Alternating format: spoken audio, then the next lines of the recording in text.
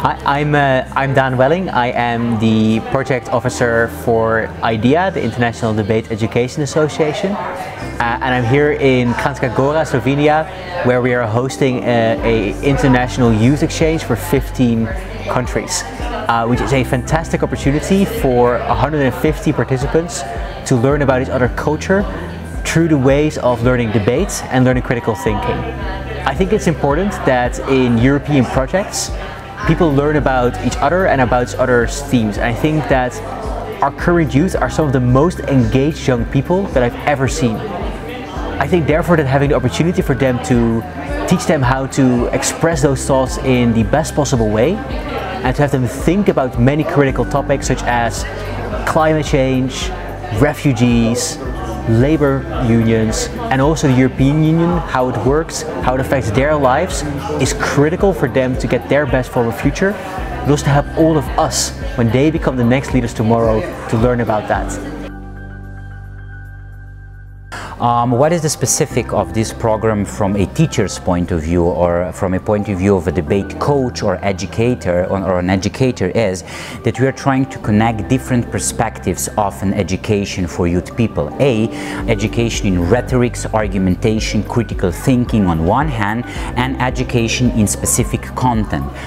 That means that through the form of debate, through the form of argumentative engagement on different topics, we're trying to address content, issues, problems connected with European unions. The point, uh, the unique characteristic of this event, as I see it as an educator, is that on one hand, uh, we give them some critical thinking tools with which they can engage with the content. With, uh, on the other hand, we give them some theoretical approaches, so some theoretical, sociological, philosophical backgrounds through which they can access the information. And lastly, we give them a lot of information information, a lot of knowledge. And after having these three things, each day they then in the end engage in an actual debate on a topic when they practice. And probably, especially this multidisciplinary or interdisciplinary approach is something that is lacking in the current educational system across the Europe.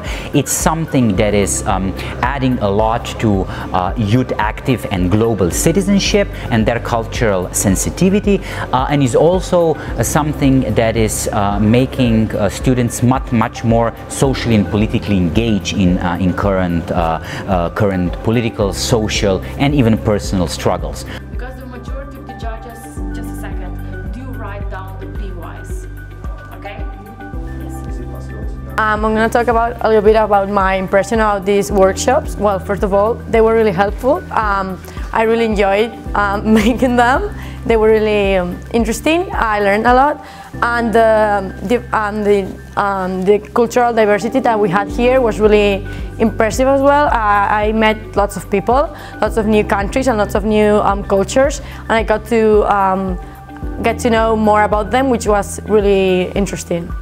Today, yesterday, we had a lot of workshops, and uh, the one I liked the most was about um, the different political, uh, democratic political uh, systems within Europe, and uh, I found it really interesting, and I'm uh, enjoying my time here. Hi, I'm Sami, I'm from Belgium and me and my friends love Slovenia because of the beautiful mountains that we don't have in Belgium. Uh, we love also the workshop, uh, we were in the media team, uh, we made a beautiful short movie and some uh, good interviews and uh, we hope you guys like them. Thank you.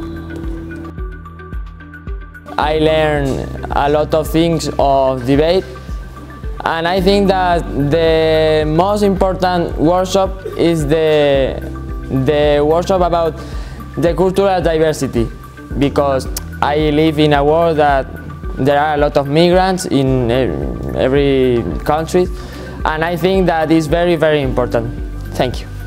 Hello, I'm Maria, I'm 16 years old and I'm from Bulgaria. What I really enjoyed, as many people in this event did, was the, uh, was the united diversity.